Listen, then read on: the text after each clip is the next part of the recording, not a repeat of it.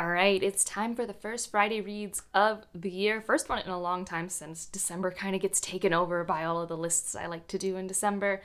And yeah, I want to talk about what I've started reading. It's been, I feel like, a slower but still productive reading year so far. And considering I'm starting a new job, I just got my new work ID today. I now work at Cuyahoga Community College if you're in the Cleveland area, and we are the Triceratops, which is by far the coolest mascot I have ever gotten to be a part of. I have had some weird mascots in my academic life. This one is the coolest the Tri C Triceratops. I think, I don't know if it's a her or him, but I choose to think her name is Stomp. I, I like that. Regardless, big things, lots of textbooks. That's going to be a large part of my reading, but I'm still just going to try and go business as usual and also ignore the fact that I just bought yarn for a project for my friend. We're just going to keep going. But I have sort of gotten back into the groove of reading a little bit. We'll talk about some of the things that I have finished, which isn't like too much, but it's something. there was a point where I was doing reading sprints for patrons where I'm like, it's like day seven of the month and I haven't finished anything. I don't really know what that means, but I have finished three things, maybe more, depending on how you demarcate stuff. Because I've been doing a lot of shorter fiction reading and long fiction reading at the same time, and I think that's where I'm a little out of whack here. so let's start with I think the first thing I finished. I'm really happy it's the first thing I finished, um, and that is The Jackalope Wives by T. Kingfisher. I'll put up a picture because these are kind of glossy covers. And this is a short story collection by T. Kingfisher. It includes a wide range of stories. I actually do think it's a really good taste test of if you're like, I don't know if T. Kingfisher is for me. Not that any of her works have been incredibly long, but here you can really see the types of characters, settings, themes. You got dark fairy tale, you got a little bit of horror, you have a little bit of just like old grandma witchy energy. Basically, everything that you're used to T. Kingfisher playing with outside of maybe her more romantic stuff is in this short story collection, and I adored it. um, I ended up loving it so much. I asked people in my Discord, hey, does, if anyone wants to buddy read it with me, I'm reading this right now. If you want to share thoughts, and I shared thoughts on like every story. Not every story was a hit. Don't get me wrong, but I had a really good time with the vast majority of these. Uh, she just gets me. Reading T. Kingfisher is like reading a note from a friend. Like, I feel like it's like I got a note between classes and I'm laughing at this letter my friend wrote me, and it's like, okay, now I gotta go to business as usual, but that was a fun reprieve. Um, so brings me joy. Totally get like the voiciness might not be for everybody. And there is this world though. So the title story, The Jackalope Wives, there are two stories in this collection in that world. Maybe there's more, but there were two that I caught. And oh my gosh, I would love more in that world. I don't know if I'll ever stumble upon more, um, but there's this one character who's in both of them, and she's really cool. But then also the reimagination of the Southwest and our relationship to the rail system. It was so interesting. So, yeah, I like the little details that she chooses to focus on. I like the quirky characters she chooses to bring to life on the page. And I chuckle and I chuckle. And I love when I chuckle. So that that was a great way to start my reading year was just reading a few of those stories. And normally with collections, I only read maybe one, maybe two stories a day. I was just reading them until I was done. I was just like, yeah, let's read another story. What else do you got for me? What, what else do we have going on? I will say, I think in general, I like her old lady stories the most. Like when she chooses to write a grandmother or older female character, they're great. I really enjoy them to the point where I like had to check because I was pretty sure T. Kingfisher is only in her like 40s or something like that. And uh, yeah, she she isn't that old. She's just a middle aged woman, but she really likes writing about old women. and there's nothing wrong with that. It's just it got to the point where I'm like, are you like secretly like my grandma's age? Like you keep writing about people like my grandma, which I love, but yeah. Uh, the other thing I finished actually just earlier today because it gets a little more complicated after that, um, and that is Freedom is a Constant Struggle. So Jess Owens runs a nonfiction book club. It's coming back this year. This is the pick that we have, and so I was slowly reading it because a lot of the reviews are like these are essays and talks that were compiled together. So because of that, there's going to be some repetition.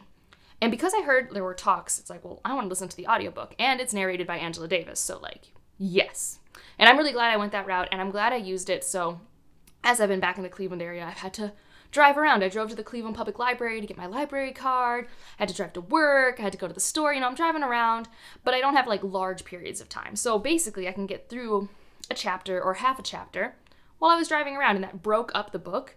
And I think that was beneficial for me. So I spent a week reading this relatively short essay collection book. and that helps because I definitely noticed the repetition themes, the repetition examples that were brought up over and over again because they were for different talks. And I mean, as someone who's like been to seminars and academic talks and made my own talks, it's like, yeah, you're always pulling from your own stuff. You're not recreating the wheel every time. Um, I actually really liked getting to see the themes that she kept trying to get people to connect with from different angles and repeating herself in different ways. Like, I know for a lot of people that was a con of this nonfiction, but I actually generally like that more often than not in nonfiction. That was actually something I also liked in, oh, what is it called? I have it on my shelf somewhere near me. Uh, Uruguayan author.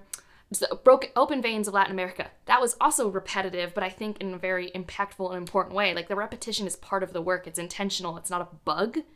Um, but I think that paired with the fact that I did take it over a longer period of time, and also like I slowed this audiobook down. I just loved her cadence, the way that she delivered her works. Like if I could see her talk in person, I would. She's a great oratory present, and especially in a week with meetings and orientation talks and people who don't know how to present. It was a breath of fresh air. It was a breath of fresh air, even if the content is dark and heavy and like just ever around us. Um, but I, I really liked it because it gives you like nonfiction like this, where it's not necessarily I'm learning a lot from it. It's like, yeah, I've already read other nonfiction or seen other talks where I know this stuff, but now I'm given more language to try and help people kind of understand why they're not making the connections completely all the way. And I always find that very valuable. And I think she does also prevent stuff in a cathartic way. Like I've talked about this in other nonfiction we've read in the past, like mediocre. It's like, that was cathartic. Like, did I learn anything new? A few things, but for the most part, when the author was angry, I was angry, and that was okay. so, those are two things I finished. And then um, I've been reading um, everything that I needed to reread in Arcanum Unbounded. So I finished this, but I say that, but I am not rereading Secret Histories of Mistborn, and I'm not reading Edgedancer, and those two things are like a large part of this. Um, for that reason, I actually kind of tracked on my story graph all the stories in here that had like separate things, which actually did work out.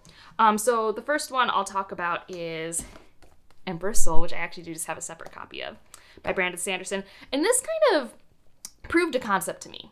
So this last year, I read Sanderson's Secret Projects, and I have a video on that, and I'm just like, is it me? Is it Sanderson? Like these are good. Like I didn't mind them, but none of them were like that magic that that I can't put this downness that I'm used to when I used to read new Sanderson books.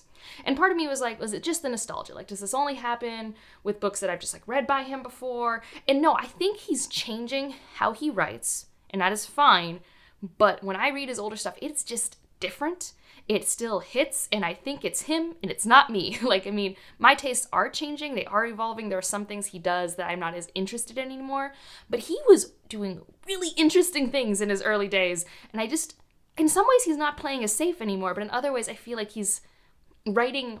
I, I don't know. I don't know how to say it yet, but I, I'm getting closer to understanding why newer Sanderson does not always land for me the way the older stuff did. And I, I'm getting closer, but Emperor's Soul is a ex- extreme example. I've loved this novella. This is the third time I've read it. Um, it's fun for Cosmere fans for sure. This time though, I got to read it as someone who just enjoyed the story because a lot of the stuff that you get introduced to in Emperor's Soul in terms of the Cosmere world building was so groundbreaking when it came out. When it came out, we knew investiture was a thing. We did not have any idea what it did and what the cognitive realm was. Like, we, I don't even think had words of radiance yet. We had nothing. Um, so this book was just like, woo. And I love the world of Elantris that like it's Sel that is based off. So like all of that's great for me. But actually just like following this artist have to accomplish this impossible task while also trying to escape. This is the perfect story for this length of novella, and I just loved the internal conversations, the external conversations. It it completely captures me every single time I really love it. Um, so I'm excited to talk about this because we're going to talk about it not this weekend, but the following weekend, and a couple other stories, two others that I'm sure we'll take more time with. Uh, the Sixth of Dusk, which I oh, this was my second time reading it. First time was like almost 10 years ago, so woo. Um, but again, this was like, oh yeah, this is so cool and dark and atmospheric. Why doesn't he write like this anymore? I loved the Six of Dusk the first time I read it, and I loved it this time.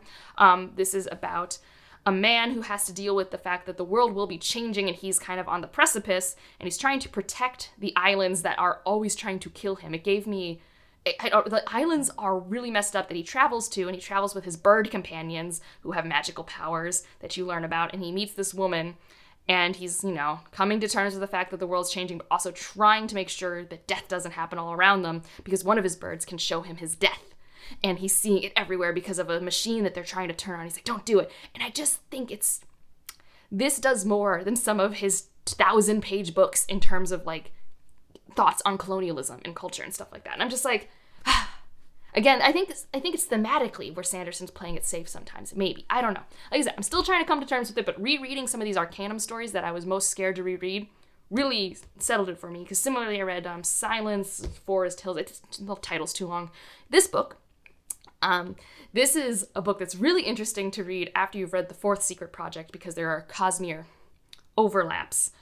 And um, this and the Six of Dusk, like reading both of those now, knowing what I know in the Cosmere was very interesting. Like the Six of Dusk references something that at the time I think I missed because it was such an outlandish thing, like an outlandish little sentence to read. I'm like, oh, I did not realize that's what that meant. But now knowing what the Cosmere's been doing, like okay, um, you know, having read Tress and all those things. But um, the Silence one, having read the Fourth Secret Project, um, is interesting because the overlap in cultures and magic there.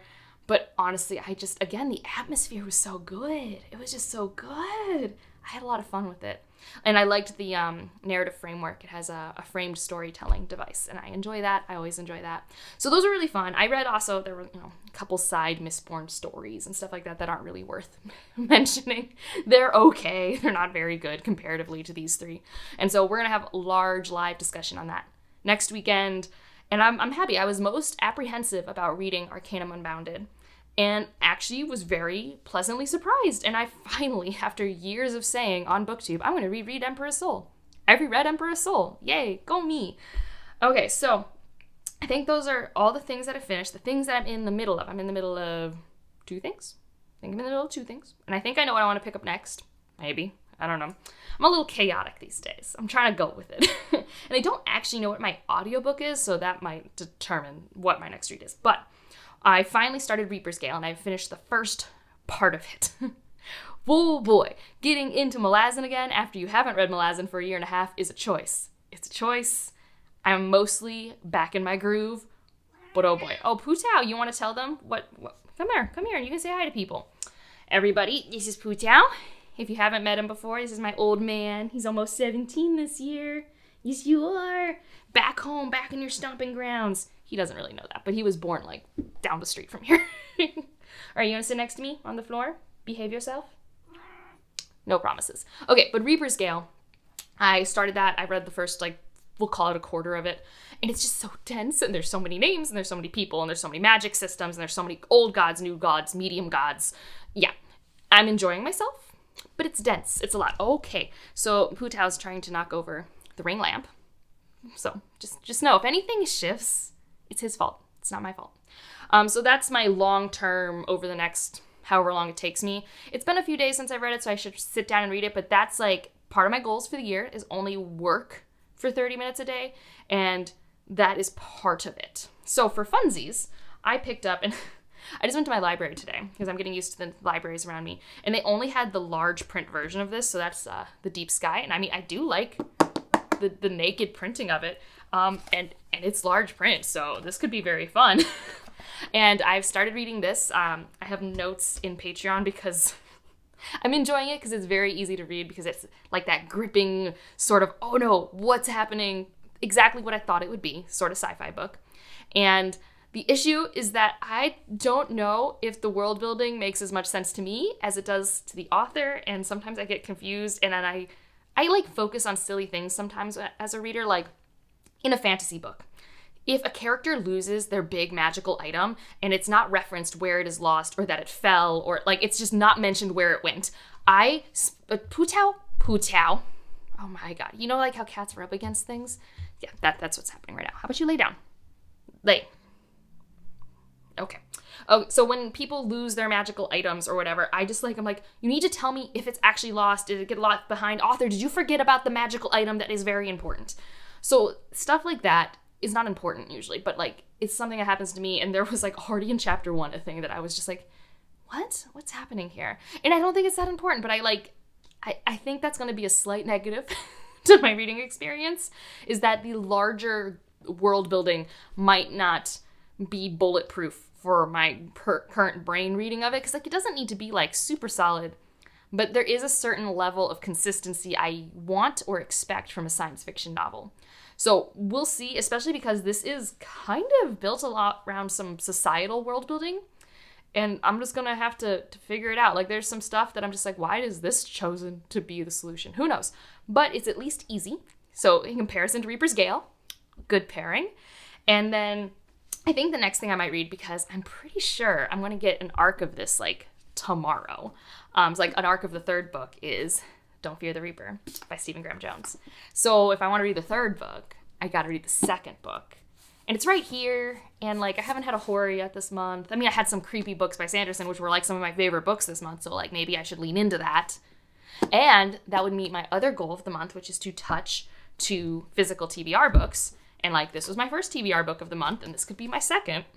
So, you know, it could happen. I have a whole host of other TBR books, and like I said, I need to figure out um, audiobooks. I, I do currently have out um, the audiobook for The Hidden Path, which is the second book in the Strange and Stubborn Endurance, because I heard it's like my favorite audio narrator, and I love him. I think it's um it's Advikus Adam or Adam Vicus. I don't know. He's Kihrin in Chorus of Dragons, so like I'm just like I love him. like truly. Um, so I might do that as an audiobook if I need an audiobook time. And then because I love Jackalope Wives so much, because T. Kingfisher, I have access to the both the um, and I've told you should read them within close succession, the Clockwork Boys and the Wonder Engines. I don't know that duology, the Clocktaur duology, and I'm like, could also read that. So yeah, I, I think we're doing okay. We're doing okay. I got a new yarn project that I'm ready to like try out. I got a TBR cart that I built and like I feel like I'm such a nerd. So as we're, you know, moving in and we've had to like acquire new furniture, like we got this cat tree, which if you're a Patreon, you've seen the cat tree and the kittens in it and everything. Um, I got myself a TBR cart, like I said, and I'll in a future video, there's going to be at least some reference to it. I don't know if I'm going to do a TBR cart tour. If I do, it definitely will be a Patreon exclusive because I'm just too lazy to do production around that. Um, but I love building furniture. like so much. So we got these TV trays, we got this cart, I got this cat tree, and I'm just like building things. We've had to rebuild the futon, and I'm just like, ah, oh, I love this. Um, it's like adult Legos, but it's functional. So that's been very fun for me. Um, and similarly, that's what like crochet knitting is to me. It's like, oh, I love following a pattern, and it's at least going to be functional. Like I'm built making my friend a cardigan, so that'll be cool. So yeah, good start to the year busy, a little stressful, but not like unwieldy. I definitely, after filming this, need to actually do some like prep work for classes that I'm teaching in two weeks. and like, that's another thing. I have to read a lot of textbooks because there's a lot of stuff I know, but I need to read what I'm telling my students to read. And also, I'm in charge of certain labs that I definitely can run, but I need to remind myself like parts of the body, like the anatomy. And I'm just like, oh, that's not something I've thought about for years. so I'm going to be doing a lot of learning this semester, but I love doing that, so that'll be great. Um, let me know how the start of your year has been going. Have your goals already been thrown out the window, which is totally fine if it is. I am not judging you. Um, or have you've been able to hold on to them. Have you been enjoying the new reading journal you've set up or having the fresh, clean slate on Storygraph or Goodreads? Let me know how your year's treating you. If you want to just leave an emoji to let me know you're here, leave a bunny because I think that's the closest we're going to get to the cover of Jackalope Wives, which is currently the winner of the year so far because the amount of joy I had whenever I was like, "Ooh, I can read another story of this," or when I was anxious and I read a story of this and it helped. Winning both ways. And otherwise, like if you liked it, subscribe if you want to, and I'll see you in the next one. Bye.